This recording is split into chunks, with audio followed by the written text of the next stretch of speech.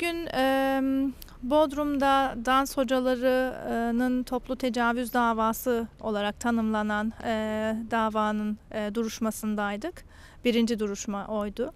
E, bugün savcı dansçıların e, suç eylemlerine ilişkin mütalada bulundu. Dansçıların e, suçu e, iştirak halinde işledikleri e, ve e, cezalandırılmalarına yönelik e, mütalada bulundu. Sadece kişiyi hürriyetinden yoksun kılma suçuna ilişkin mütalası beraat yönündeydi.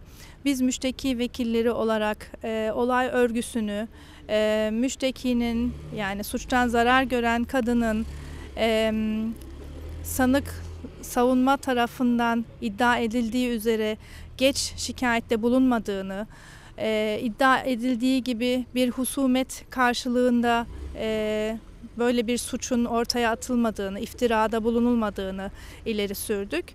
E, 3 Mart'ta saat 9'da karar duruşması için tekrar bir araya gelinecek.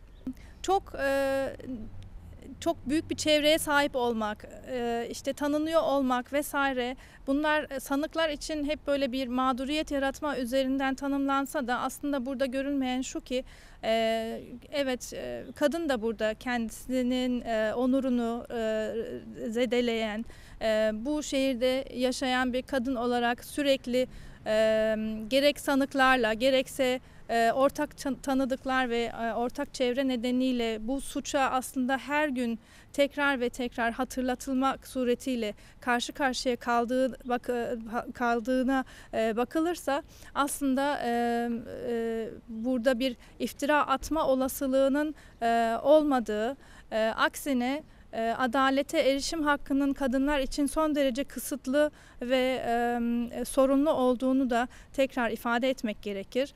E, evet bu e, davada e, kadının e, doğru yönlendirme sonucu bir STK'ya yani, yani Bodrum Kadın Dayanışma Derneği'ne ulaşmış olması, e, bu e, STK üzerinden de e, doğru e, bir cinsel saldırı muayene tutanağının tutulmuş olması, bunun da e, soruşturma dosyasında tam kapsamlı bir şekilde ele alınmış olması e, bu e, yargılamada da e, önemli ölçüde bir delil oluşturmuştur ve e, heyeti de e, ikna ettiğini düşünmekteyiz. Yani savcının bu konuda ikna olduğu e, kesin olmakla beraber biz bir dahaki celsede e, sanıkların cezalandırılması e, yönünde karar çıkacağını düşünüyoruz. Evet ilk duruşmamız dansçıların e, dosyasının duruşmasıydı. E, eylemlerine uyan cinsel saldırı suçundan Türk Ceza Kanunu'nda yer alan 102. maddede e, hem bedenen ve ruh ruh bakımından kendisini savunamayacak durumda bulunan kişiye karşı ve silah silahla veya birden fazla kişi tarafından e, işlenmesine karşı e, cinsel saldırının nitelikli halinden cezalandırılmasına ilişkin mütalaa verildi. E, gelecek celsemiz e, 3 Mart'ta olacak. Karar duruşması olacak. E, umarım e, bu kişiler e, eylemlerine uyan cezalarda en üst seviyede cezalandırılacaklar.